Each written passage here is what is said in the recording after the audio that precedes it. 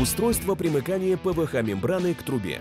Для этой операции вам понадобится три хомута под диаметр трубы, набухающий герметик Технониколь. В качестве дополнительной меры герметик Технониколь ПУ Logic Flex. Пистолет для герметика. Ручной фен с насадками разной ширины. Комплект прикаточных роликов. Щетка для очистки сопла. Пробник проверки качества шва. Ножницы. Выдвижной нож с плоским лезвием. Шлицевая отвертка. Активатор Технониколь для очистки мембраны от загрязнений. Перчатки с латексным покрытием. Металлическая пластина. Удалите грязь и пыль с поверхности мембраны.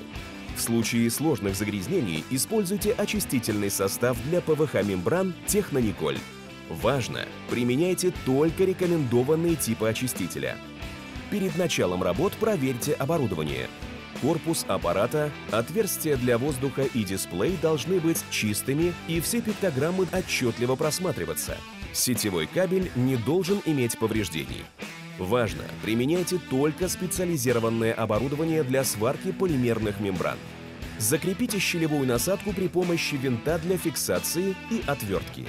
Просвет щелевой насадки должен быть прямым и чистым.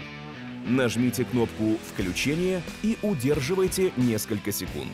Для сварки мембраны Logic Base VSL выберите температуру в зависимости от погодных условий и используемого по ширине сопла. Подготовьте заготовку прямоугольной формы и зафиксируйте ее на трубе, гильзе. Для этого выполните отверстие в прямоугольной заготовке. Разогрейте заготовку и установите на трубу. Обеспечьте заход мембраны на трубу минимум 20 мм. Вырежьте фартук из мембраны. Длина фартука подбирается из фактического диаметра трубы плюс 50 мм перехлеста. Разогрейте феном небольшой участок нижней части заготовки и выполните растяжку мембраны. Разогрев производится последовательно. Приварите заготовку к основной мембране. Величина нахлеста заготовки на горизонтали должна составлять не менее 30 мм. Проварите вертикальный нахлест. Для удобства сварки делайте вертикальную часть фартука выше на несколько сантиметров. Затем ее можно обрезать на необходимую высоту. Для герметизации используйте набухающий герметик Технониколь. Установите и закрепите хомуты на выполненное примыкание. Расстояние между хомутами должно составлять 30-50 мм.